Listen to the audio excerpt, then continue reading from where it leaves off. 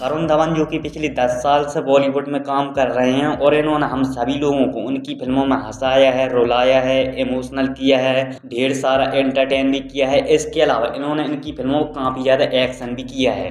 बताना चाहूँगा दोस्तों 9 सितंबर को फ़िल्म फायर अवार्ड है।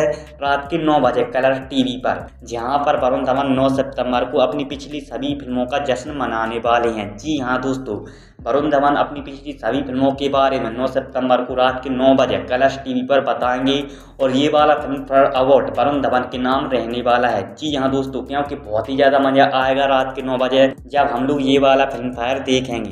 साथ ही साथ बताना चाहूँगा दोस्तों, वरुण धवन अपनी student of the year film से लेकर भेड़िया फ़िल्म तक का पूरा सफ़र बताने वाले हैं। जी हाँ दोस्तों, वो भेड़िया फ़िल्म के बारे में भी बहुत कुछ बताएँगे और हो सकता है कि इस फ़िल्म फेयर के मौके पर वरुण धवन भेड़िया फ़िल्म से भी कुछ अपडेट दे दें हालाँकि दोस्तों, आप सभी की जानकारी के लिए बता दूँ, वरुण धवन ने कुछ ही दिन पहले भेड़िया फ़िल्म के लिए स्पेशल शूटिंग की थी, जो कि फ़िल्म फेयर में बतानी है।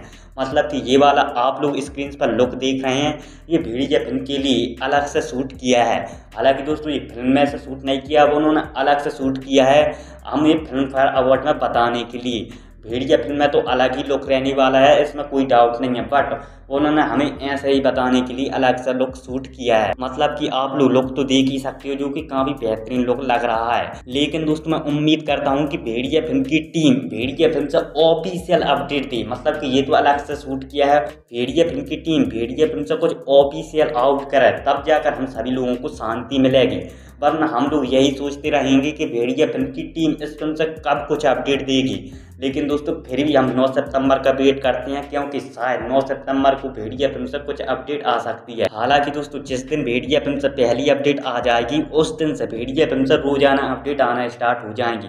बाकी दोस्तों, आप लोग कमेंट कर कर बताना कि आप लोग भेड़िया फ़िल्म के लिए कितने ज़्यादा एक्साइटेड हैं।